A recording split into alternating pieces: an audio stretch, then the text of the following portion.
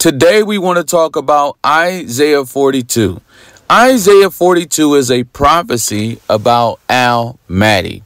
This prophecy has not yet came to pass of yet, but it will in the near future. Many times we get this prophecy confused with the prophet Muhammad, but it is about the real Muhammad. Peace and blessings be upon the Arabian prophet. We love him. He was a servant, he was not the heir. Now let's dive into this.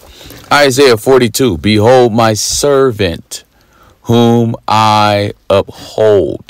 This is going into guiding this person. Mine elect, my chosen, in whom my soul delighteth. I brought out the fact that the Mahdi is most closest to Allah.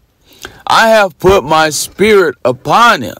This precepts with what Jesus said. Jesus said, You can say whatever you want to say about me, it'll be forgiven. But whoever say anything about the Holy Spirit, it will not be forgiven in this life or in the world to come. This is going into the man who has been charged to fill this earth with equity and righteousness, just as it has been filled with wickedness. Going on, he shall bring forth judgment to the Gentiles. Now, that's exactly what I'm doing. Right now, there is a judgment pending on the nations. And right now, we've been focusing on the Arabs because they have something that does not belong to them. Going on, he shall not cry nor lift up, nor cause his voice to be heard in the street. This man is simply at home giving out messages. He's doing sermons as Al Mahdi is supposed to, in which people are supposed to be responding to his sermons. This will happen in the future. He shall not cry nor lift up nor cause his voice to be heard in the street. Like I told you, I'm simply at home like the rich homie Quan, rich homie, okay? Home. A bruised reed shall he not break, and the smoking flax shall he not quench. He shall bring forth judgment unto the truth.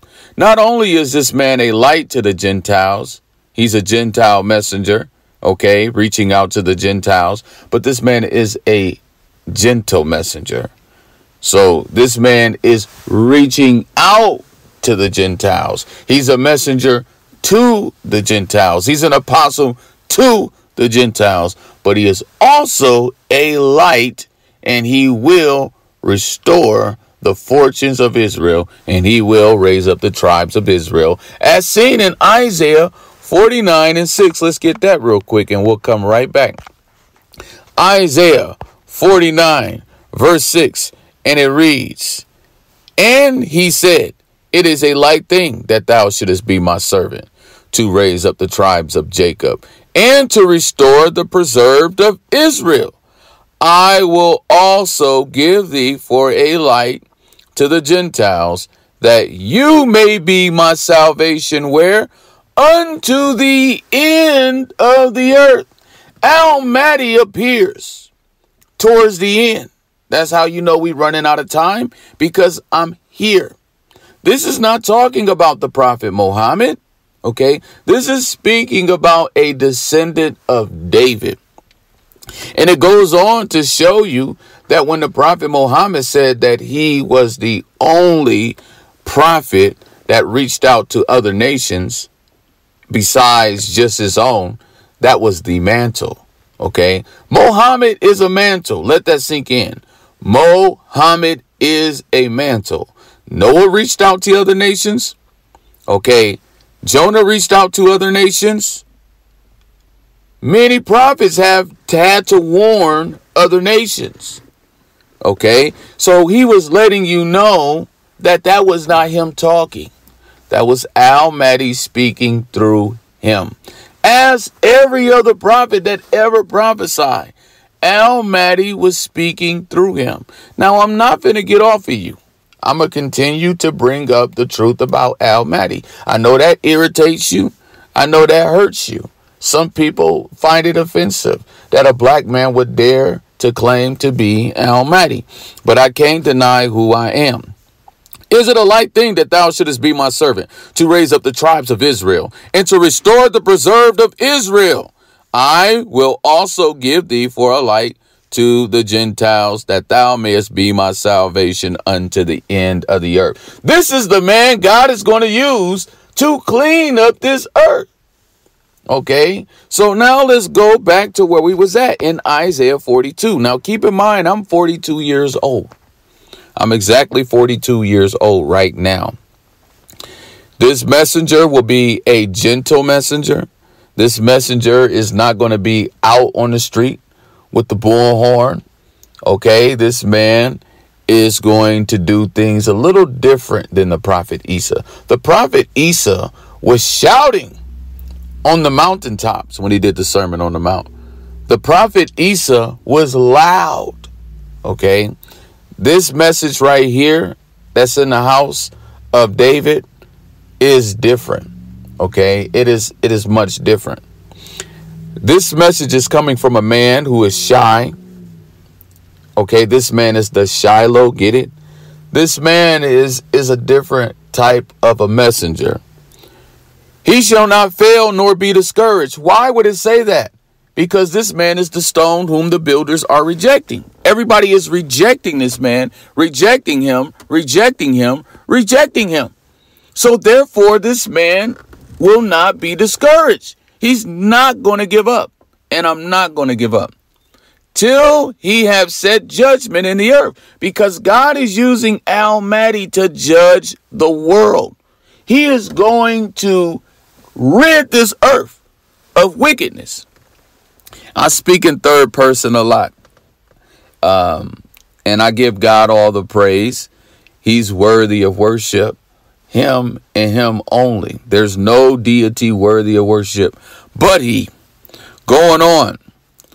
Thus saith God the Lord, He that created the heavens and stretched them out, He that spread forth the earth, and that which cometh out of it, He that giveth breath unto the people upon it, and the spirit to them that walk therein. I, the Lord, have called you in righteousness, and will hold your hand. I told you. Al Mahdi is guided.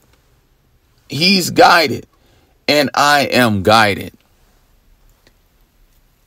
He that giveth a breath unto the people. This man is going to be used to bring out the knowledge that is going to raise people back to life. It's the knowledge we need. My people perish from what? A lack of knowledge. And Al Mahdi has the knowledge and spirit to them that walk therein. I, the Lord, have called thee in righteousness and will hold thine hand. He's guiding me. And will keep thee and give thee for a covenant of the people, for a light of the Gentiles. So this man is going to reach out to his own people, his own nation, but he's also going to reach out to the Gentiles. This man is the ruler of the Arabs. To do what?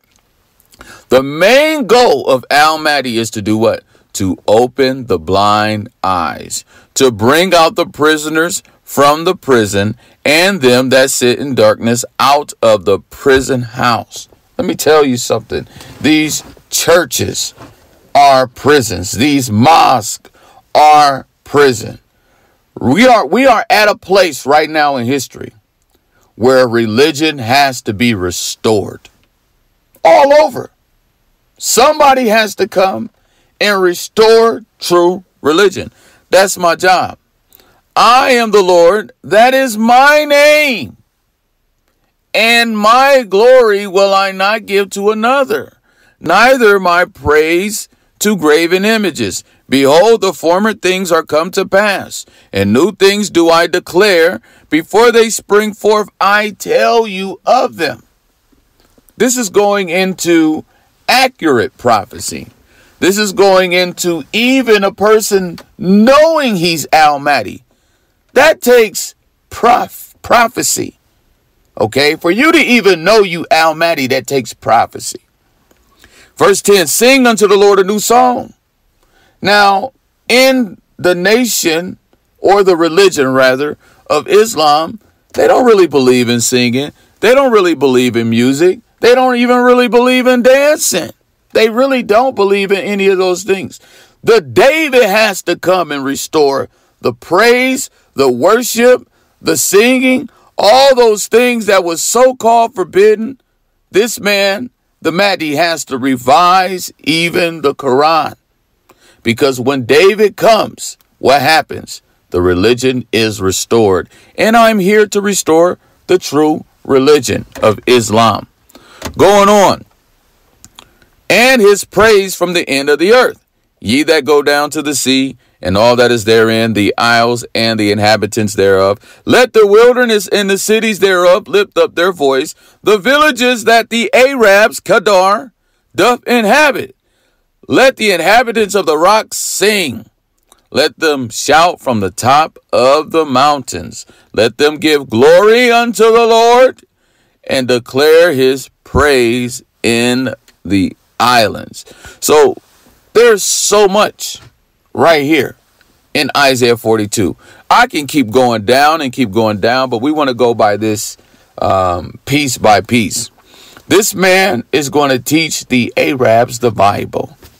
Okay? He's going to bring the Bible to life. He's going to bring the Quran to life. Okay? Because right now we're suffering of a lack of knowledge. All over the world, Arabs have no clue that their Mahdi is black and they have no clue that in the Bible it confirms that the ruler of the Arabs would be a black man, a descendant of David. Okay, this man, Al Mahdi, is like the man that was born blind. Okay, now let's go to verse. Uh, let's go to verse 13 The Lord shall go forth as a mighty man. He shall stir up jealousy like a man of war. He shall cry, a roar. He shall prevail against his enemies. This is all going into Al Mahdi. This is all going into God using this man. I have long time holding my peace. I have been still and refrained myself. Now will I cry like a travailing woman. I will destroy and devour at once. So there's going to go from uh, a point in this man's life where he's shy, and then he's just going to just start letting loose and just letting out going on. I will make waste mountains and hills and dry up all the herbs, all their herbs, and I will make the rivers islands, and I will dry up the pools, and I will bring the blind by a way that they knew not. All these Arabians are blind to the Bible. I will lead them in paths that they have not known. I will make darkness light before them and crooked things straight. Things, these things will I do unto them and not forsake them. They shall not be turned back. They shall be greatly ashamed that trust in graven images that say to molten images, Ye are our gods. Hear ye deaf and look ye blind, that ye may see. Now watch this. Who is blind but my servant? Al Mahdi has been the he's been the man born blind, or deaf as my messenger that I sent. There's no angels coming out of the sky talking to this guy. There's nothing going on like at the time of the Prophet Muhammad's conversion and all the other messengers. This man is simply being guided. He's simply being guided. Who is blind as he that is perfect? This man was an heir. He came from heaven. Okay? This man is righteous and blind as the Lord's servant. Okay? Seeing many things, but thou observest not. Opening the ears, but he hear not. This man speaking the truth. People don't want to listen. Now watch this. The Lord is well pleased for his righteousness' sake. He will magnify the law and make it honorable. This man is going to revise the law. This is going into the Bible. This is going into the Quran, the Hadiths. This man is going to restore true religion. So there you have it. That's just something brief today. Um, letting you know that Al Mahdi's job is to restore true religion. Right now, religion is in a mess, whether you are in Christianity or in Islam. There's a whole lot of things that need to be restored. And here you have it. Al Mahdi, he's not mentioned by name, okay? But his mission his goals, everything is right here in Isaiah 42. Okay. This man is the ruler of the Arabs. Okay. And I just wanted to show you all that today so you can see it from the Bible. From the Bible. Assalamu alaikum to my brothers and sisters who will become real Muslims.